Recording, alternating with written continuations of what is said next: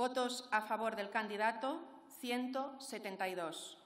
Por lo tanto, se pone fin a la investidura de Alberto Núñez Feijó y siendo consciente de ello de antemano, le pidió al PSOE convocar nuevas elecciones para que los españoles decidan... ¿Amnistía sí o no?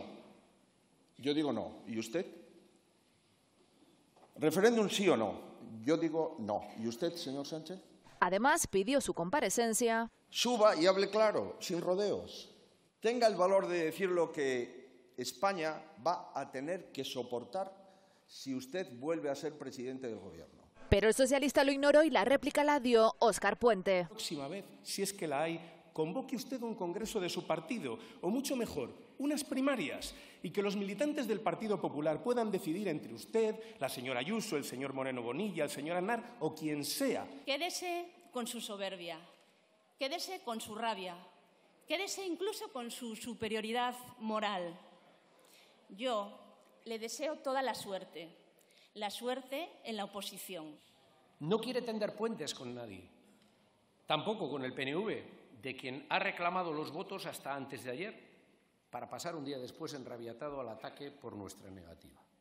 Ni un margen al acuerdo. El líder de Vox también lanzó advertencias. Señorías, un político amnistiando a otro político a cambio de sus votos para mantenerse en el poder.